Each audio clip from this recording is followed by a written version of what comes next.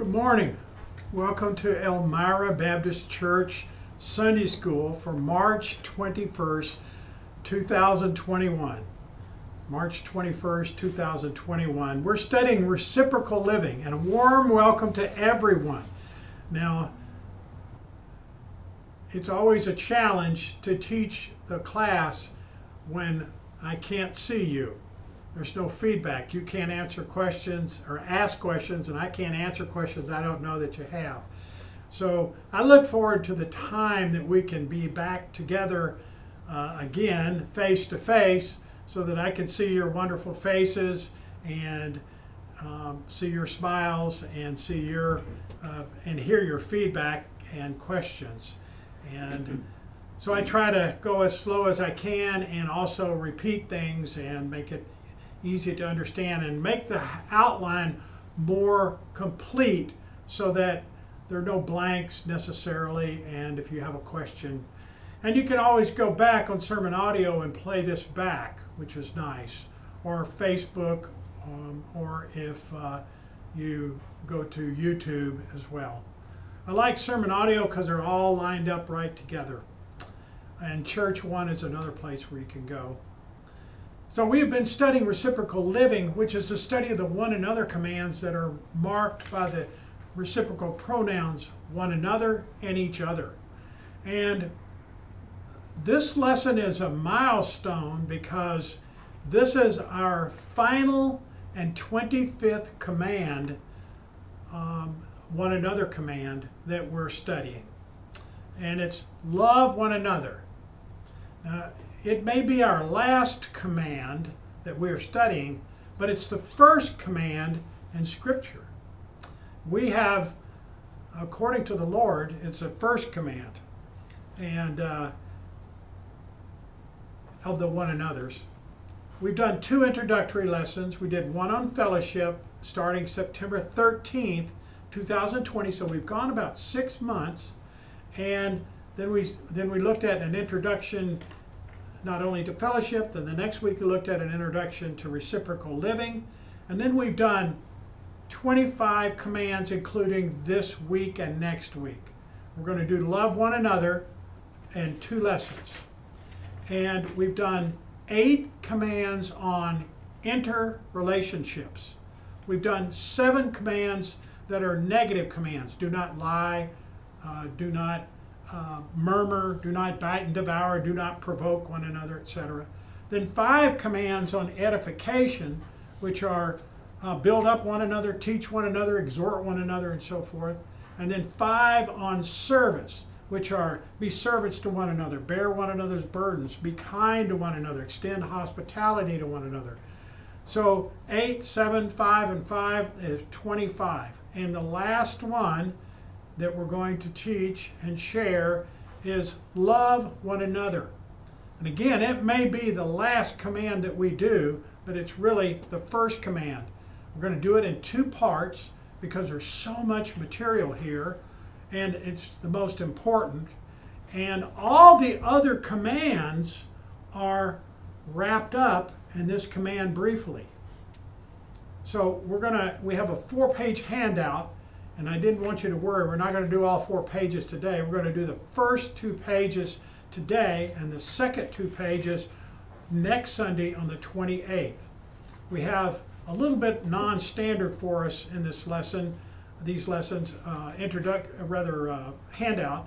The introduction on page one, command plus some other passages where this command is found on page one, significance of the command on page two, and basis for definition, and that's all we'll do today.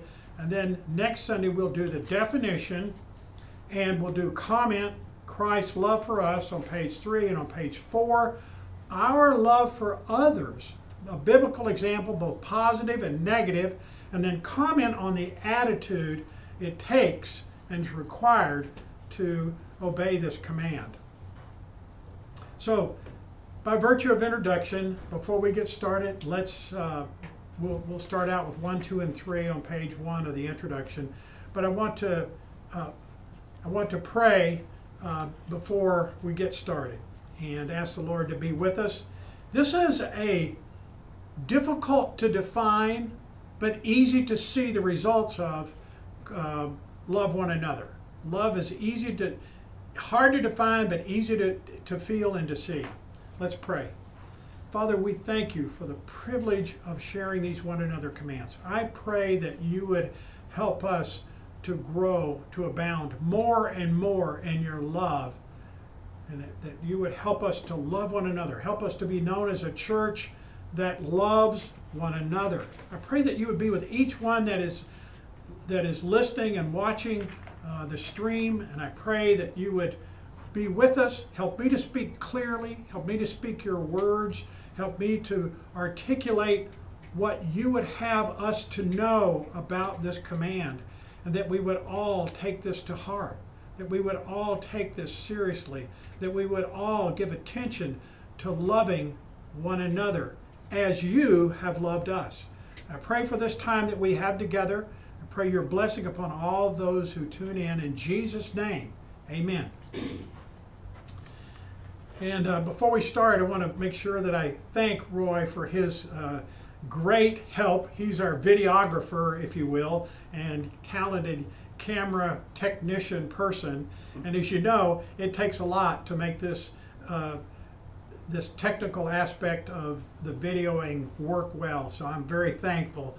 And it's also to, it's hard to put me in a good light, and he always does, and I appreciate that. So by word of introduction and loving one another, um, just before uh, looking at number one, just before his betrayal, our Lord's betrayal, his arrest and his trial, and his death, he spent the Lord spent one last evening with his disciples. He used this time to instruct and to comfort, number two, uh, and forewarn them, knowing that this time that he had with them was short and that he would soon leave them. Jesus told his disciples some of the most basic and important matters, fundamental and important matters in a Christian life. He talked about the meaning of his death he talked about the coming of the Holy Spirit. He talked about he talked about the hope of the life to come in the Father's house. I go to prepare a place for you. And there, his Father's house has many mansions. And he talked about the mission which the disciples were to carry out in his absence. He talked about the conflict between the world and believers. And then finally, number three, he gave his disciples one last command. That command was that they love one another. This command is echoed in almost all the writings and books of the New Testament. And it's foundational. It's foundational to the Christian life and to all the other commands. It's the most important command. And we're going to look at that in John 13, uh, 33 and 35. He says, Little children, yet a little while I am with you. John 13, 33, reading through 35. You shall seek me, and as I said unto the Jews, Whither I go, you cannot come, so now I say to you. He's speaking to the apostles uh, the, in the what some call the Last Supper, but it was a celebration of the last Passover. He said, verse 34, A new commandment I give unto you, that ye love one another, as I have loved you, so that ye also love one another. In verse 35, and by this shall all men know that ye are my disciples. If you have love one to another. We're going to look at that a little bit. Um, he says in verse 33, he starts out with the term, little children, yet a little while I am with you. And that little children is a tender term of endearment, of love to the, to the apostles and the disciples. Uh, and he had not used that before and didn't use it afterwards. It's used two other places, I think, in the New Testament.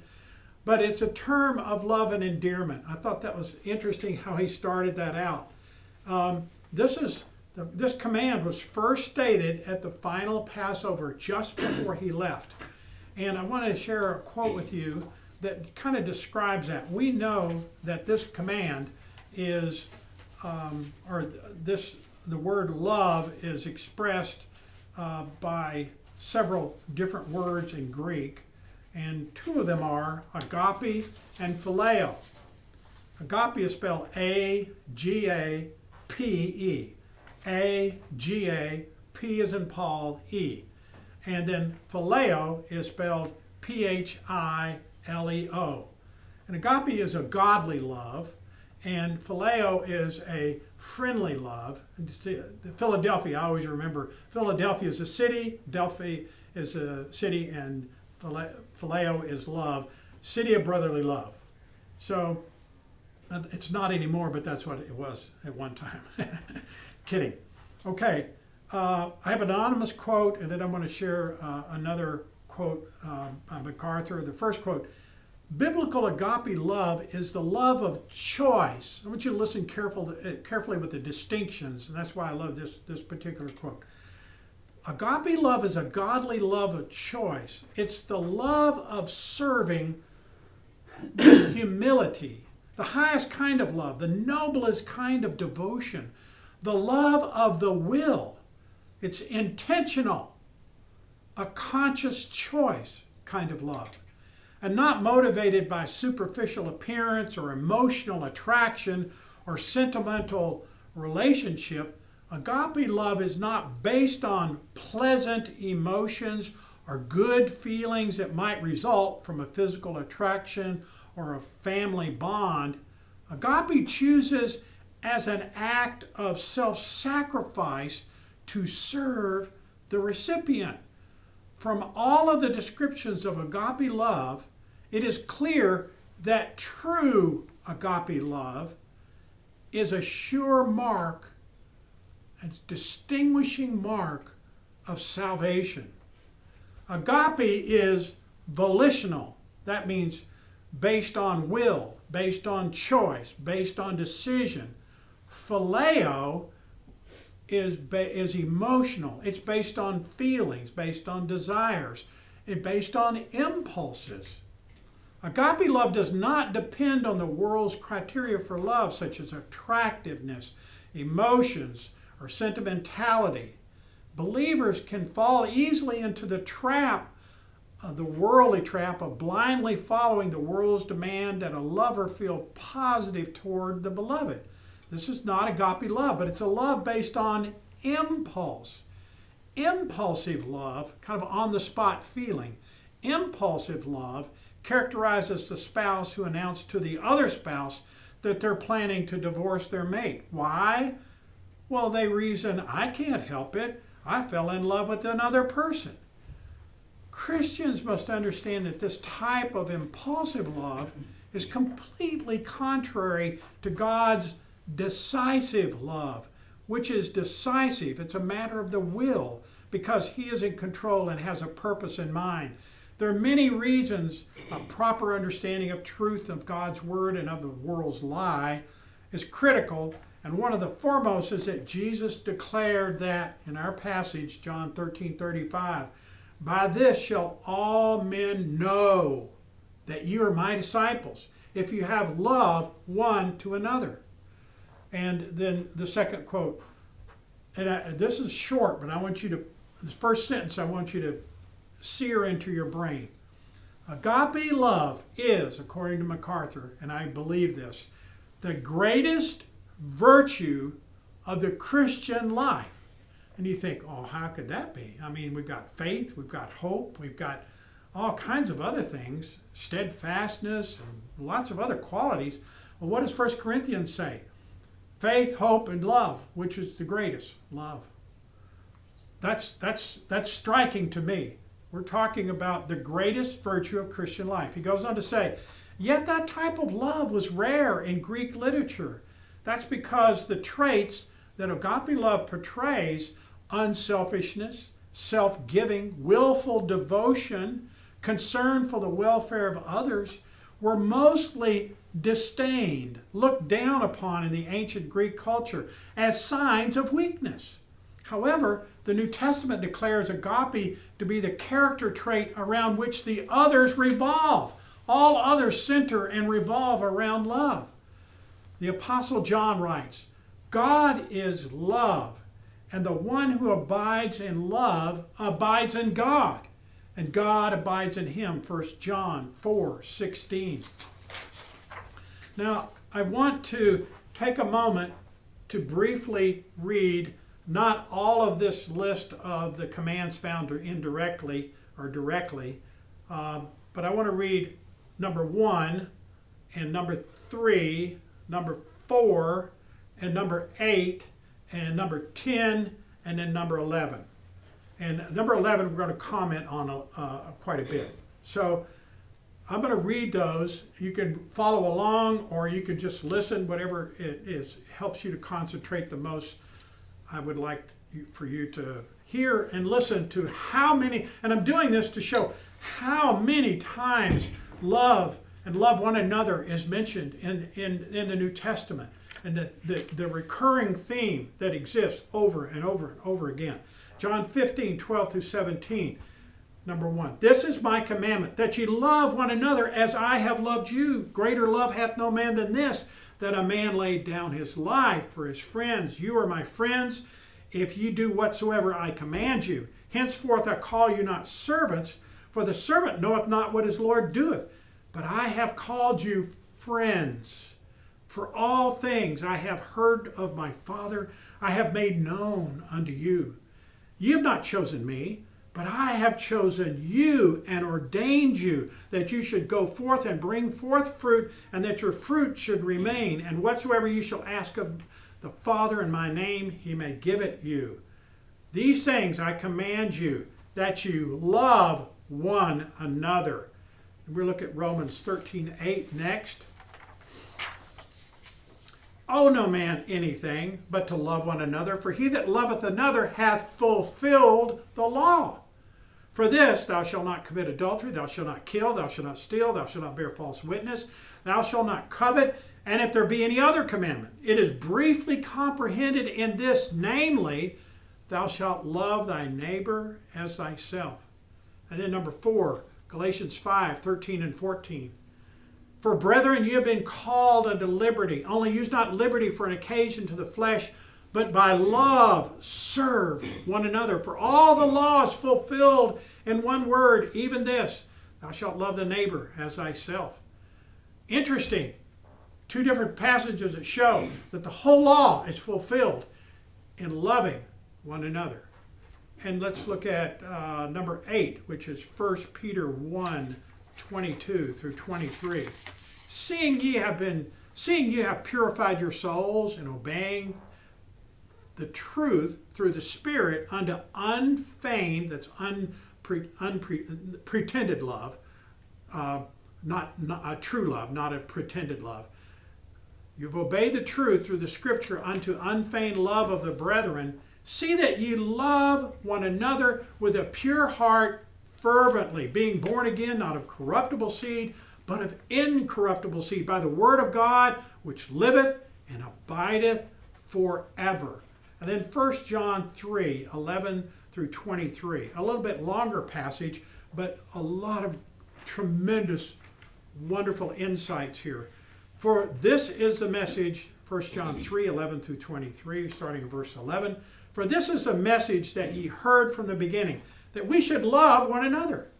Not as Cain, who was of that wicked one, and the wicked one being Satan, and slew his brother. And wherefore slew he him? Why did he do that? Because his own works were evil and his brothers were righteous. Marvel not, my brethren, if the world hate you. We know that we have passed from death into life because we love the brethren. He that loveth not his brother abideth in death.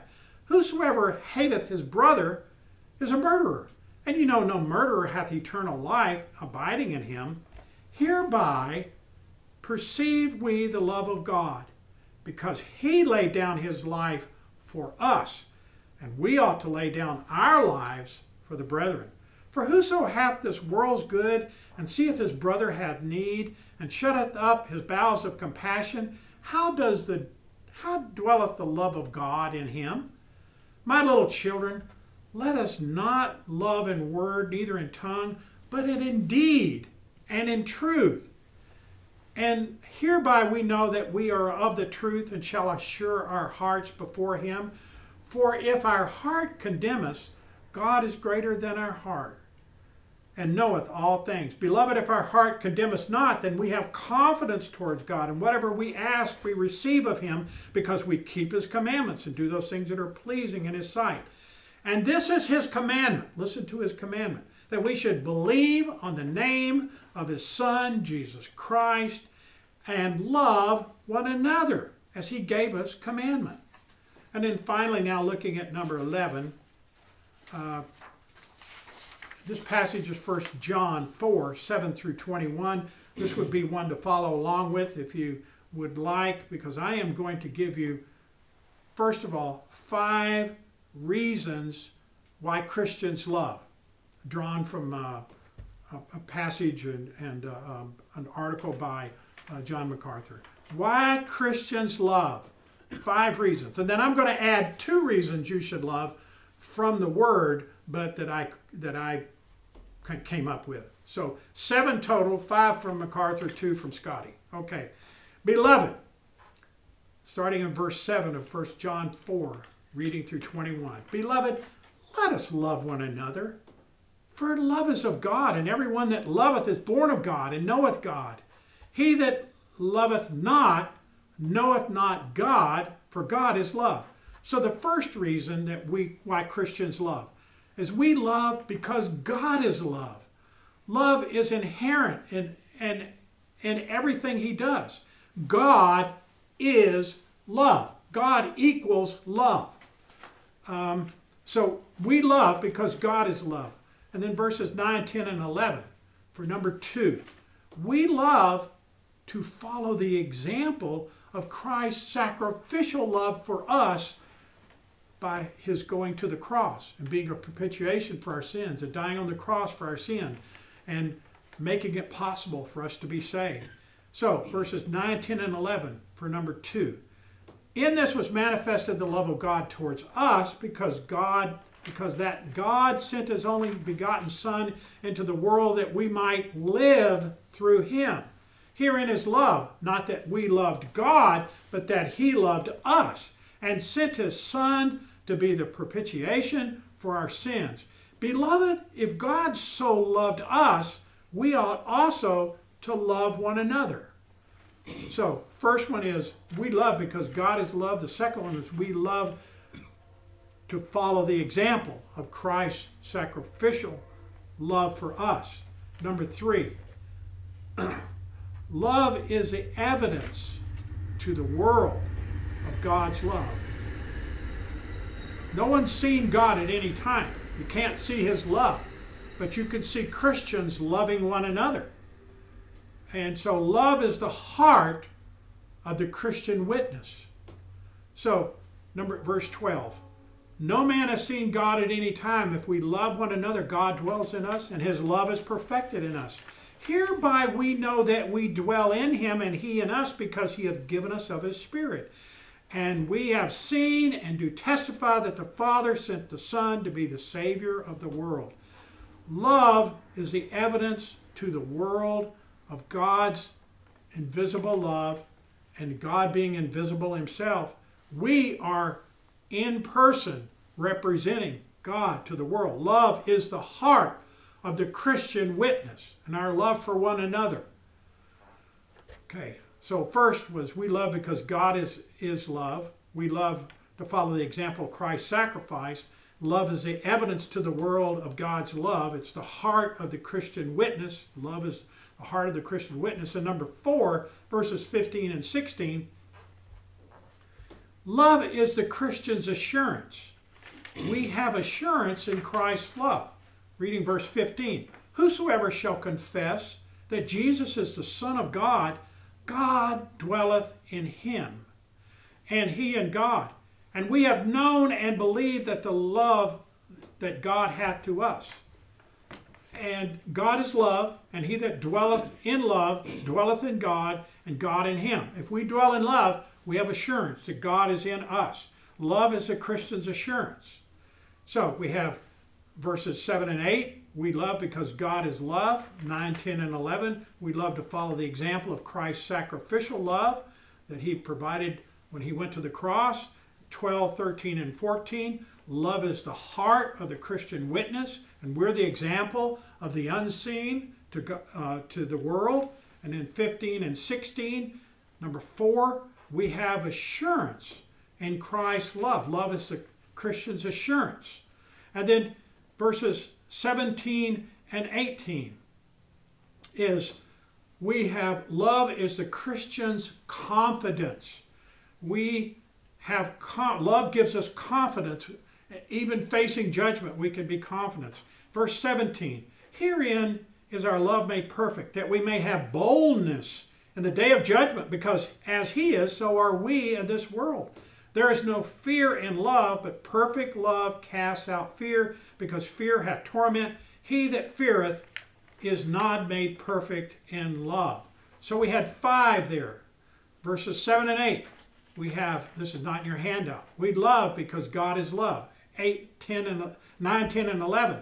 Number two, we follow the example of Christ's sacrificial love. We love to follow the example. And then 12, 13, and 14. Love is the heart of the Christian witness. Verses 15 and 16. Number four, love is the Christian's assurance. And number uh, five, love is the Christian's confidence in verses 17 and 18. Then I'm going to add verse 19. We love because he first loved us.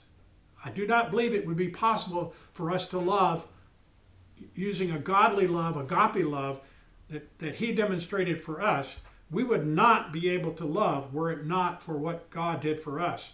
We love him because he first loved us. Verse 19. Romans 5 8 says, But God committed his love toward us in that we were, while we were yet sinners, Christ died for us. You know, when we believe and we accept what the, the substitutionary death of Christ for our sins, and we ask to be saved. We're reconciled, we're forgiven, we're clothed with Christ's righteousness, we're brought into the body of Christ, the church. The Holy Spirit dwells within us. Uh, we're a new creation in Christ. The fruit of the Spirit produces this fruit, the, the, this, the love and all of the other qualities of the Spirit, fruits of the Spirit. We're capable of loving because He died for us. He loved us. Even John 3:16 says, God, for God so loved the world that he gave his only begotten Son, that whosoever believeth in him should not perish, but have everlasting life. And God sheds, the love of God is shed abroad in our hearts. Now, often uh, you'll see the word him omitted in this sentence when it's discussed because some people think that that should read, We love because he first loved us. And it really doesn't matter whether we leave the him out or not in one sense because God gave us the capacity to love as Christians that we did not have before. Our love was based on what other people did for us, not because we made a choice to love in a godly way, an agape love. Because of what He did for us, He made it us able to love one another. and we love Him and everything else and everyone else because of what He did for us, that sacrifice. What a profound statement. We love Him and we love because He first loved us. And then that's number six. We love because He first loved us. And number seven, we love because He commanded it. Um, we love to obey him. Um, obedience equals love, love equals obedience. If a man say, verse 20 and 21, if a man say, I love God and hate his brother, he's a liar. For he that loveth not his brother whom he has seen, how can he love God whom he has not seen? That's a powerful argument. And this commandment we have from him that he who loves God loves his brother also. So turn to the top of page two and let's look at the significance of this command. The Lord attached the greatest significance to this command when he stated that obedience to this command is a distinguishing mark. It's a brand, if you will. It is an indica- strong indication that it's a sign to everyone that a person is a believer, is his believer, a Christian, and it's evidence that the person is a Christian. Now, John 13 35, the Lord Himself said, By this, that's obedience to this command, shall all men know that you are my disciples if you love one another. Powerful statement. He said, we know that love is a quality, reading from number one on the top of page two. Love is a quality that's enabled by God. And as we know, it's a fruit of the Spirit. Not just love, but love for one another is absolutely necessary to be a disciple of our Lord Jesus Christ. Now, I have another quote by Mr. Ironside, H.A. Ironside. if you and I have the mind of Christ, this divine love will be manifested in us. If it is not manifested in us, then all our talk about the fundamentalists, being fundamentalists, being devout fundamentalists, and all our talk about standing for the truth goes for very little indeed. We may be tremendously in earnest contending for some great outstanding doctrines and facts. But if we contend in a bad spirit without love, we only harm the cause we represent. And if the back of our contention for the faith, and back of that, that advocating for the faith, there's no sincere love for the brethren, then we dishonor the one who himself is the way, the truth, and the life. He has said, the Lord Jesus said, By this shall all men know that ye are my disciples if ye have love for one another. John 13, 35.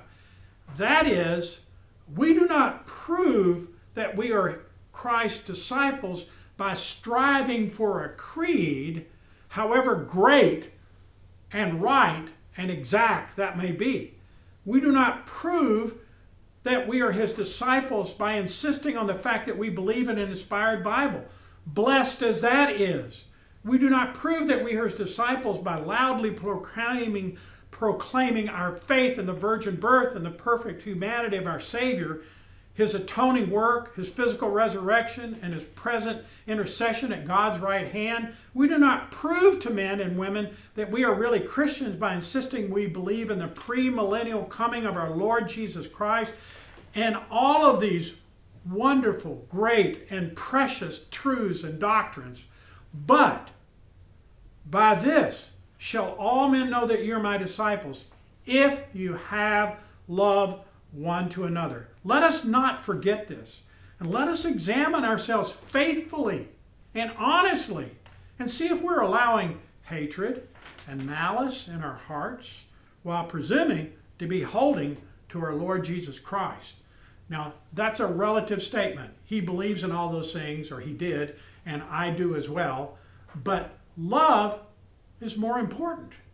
That's a profound statement. Uh, number two, the Apostle John also said that a person who does not love his brother does not love God either. Now, that doesn't sound like that could be right, but it is. It says it right in Scripture.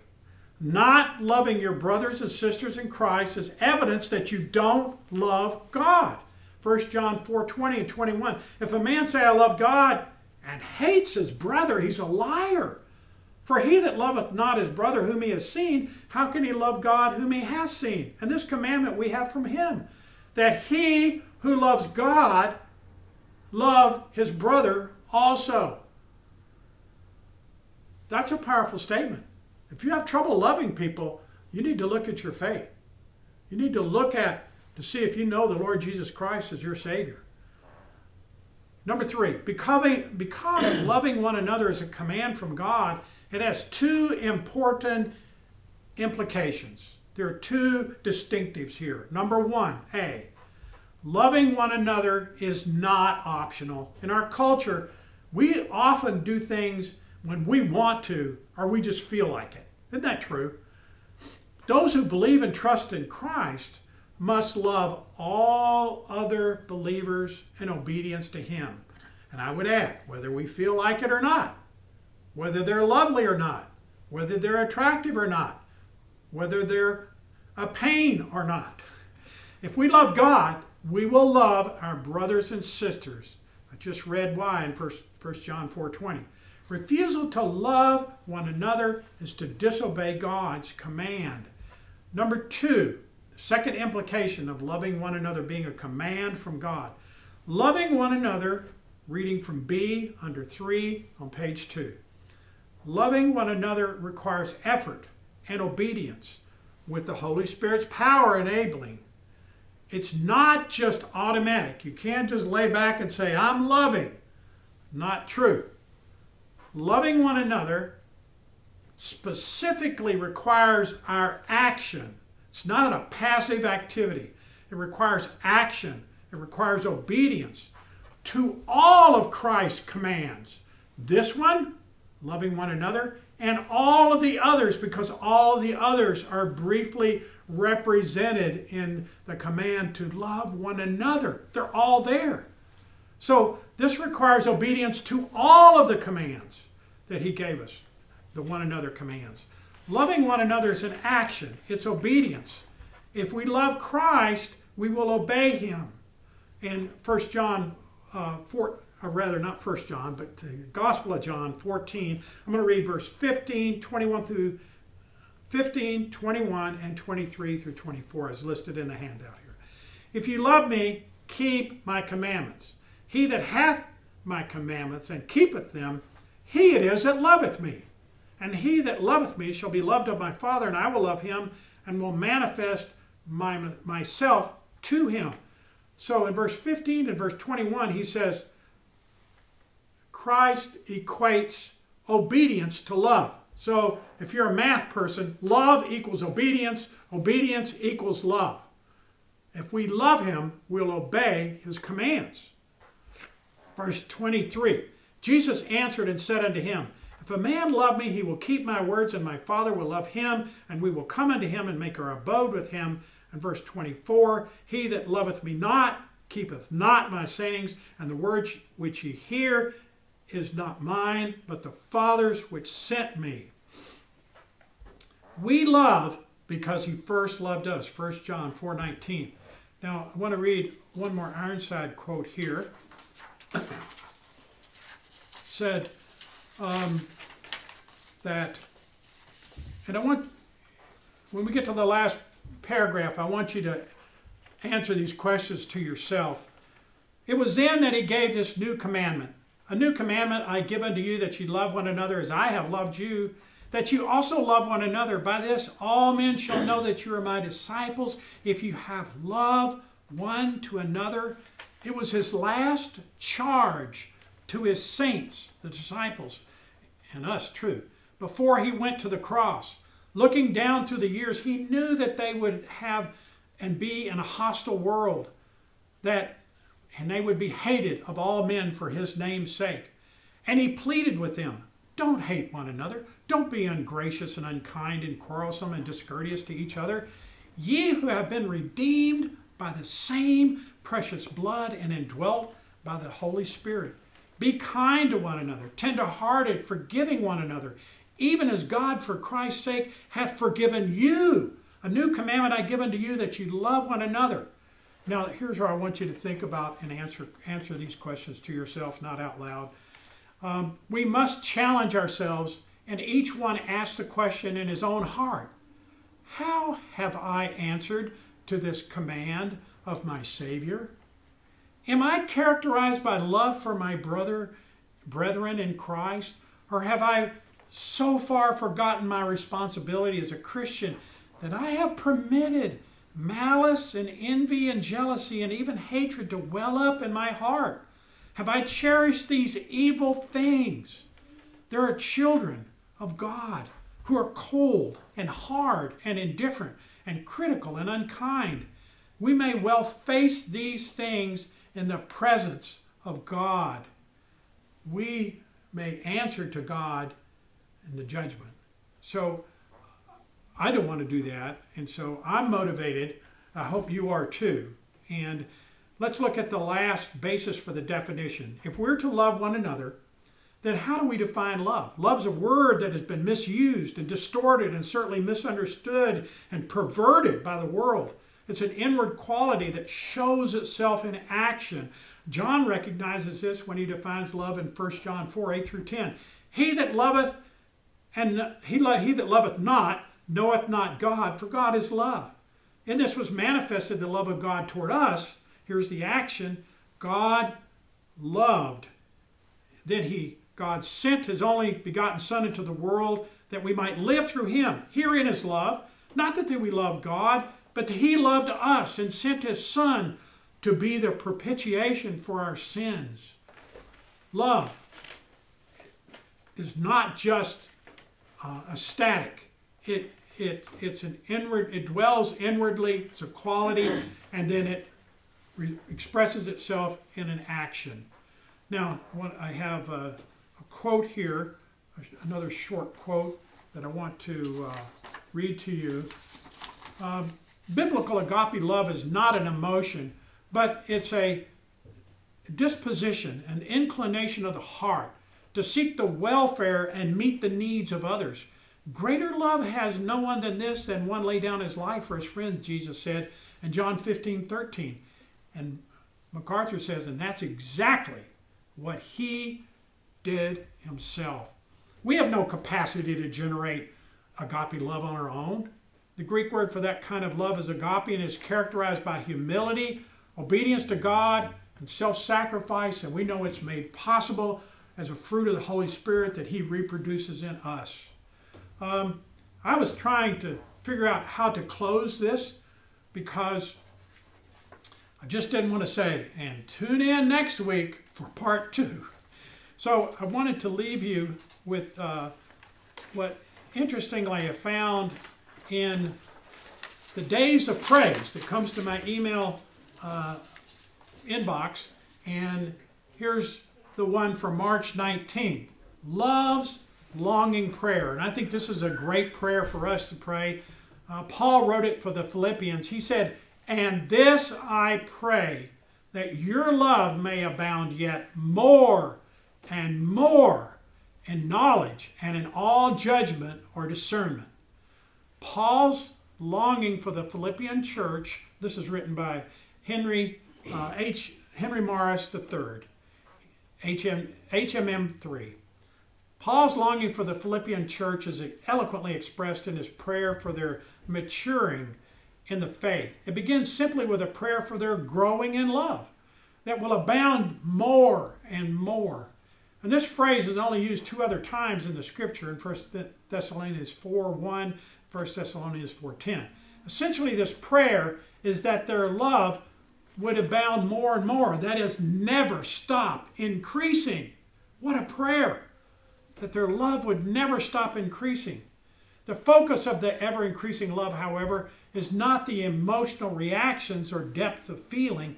It's a non stop, ever growing love for knowledge and judgment or discernment as one might expect, the Holy Spirit's choices of words are important, so we're going to look at knowledge and judgment briefly. Several Greek words could be translated as knowledge. Uh, Paul's choice and the Holy Spirit's choice for Philippians 1 9 is epignosis, spelled E P I G N O S I S. E P I G N O S I S. It's a term that emphasizes uh, understanding of facts and truth. And it carries an intensive meaning with a fuller, clearer, comprehensive, more thorough knowledge than just being aware of some facts or data. A person with epinosis, which means full knowledge, knows more, no, actually knows both what and why they have certain facts. It's a comprehensive, thorough knowledge to know all about and completely understand. And then the word judgment is a translation of the word A-I-S T-H-E-S-I-S, AI thesis. And it, it's an unusual term that demands perception, understanding, or discernment of what to do with the knowledge that we're praying for. And both terms are intellectually based, not emotionally based, and requiring a growing grasp of information. Both are the product of love, not a product of the human standards of high intelligence. Paul wants us to, and the Philippians, when he wrote it to them, that their love may grow and grow and more and knowledge, comprehensive, all encompassing knowledge, and, and in all discernment and, and perception and how to apply that knowledge. So he ends this uh, short days of praise by saying three things. We must be rooted and grounded in love, Ephesians 3:17. And we must speak the truth in love, Ephesians 4:15. And always be conscious of our relationships so that we can increase in the edifying of ourselves in love. Ephesians 4:16. Rooted and grounded in love, speak the truth in love, and be conscious of our relationships so that we can increase of edifying in love. Finally, there's this overarching statement. He said, God is love, and he that dwelleth in love dwelleth in God, and God in him. That's my prayer for our church and for us, each one of you who is tuning in. And this I pray, that your love may abound yet more and more in knowledge and in all judgment or discernment. Let's pray. Father, thank you for the privilege of sharing your word. Lord, help us to grow more and more, that we will abound more and more in the knowledge and discernment and in love. I pray, Father, that you would be with us. Help us to absorb this material. Help us to think about it during the week. Help us to look at what is important about loving one another and why we should reflect your love to our brothers and sisters in Christ. Lord, we pray that you would be with us, be with those that couldn't be here. Pray for those that are ill, that you would be with them. And uh, we pray, Father, for the service to follow, that you would bless it. In Jesus' name we pray. Amen.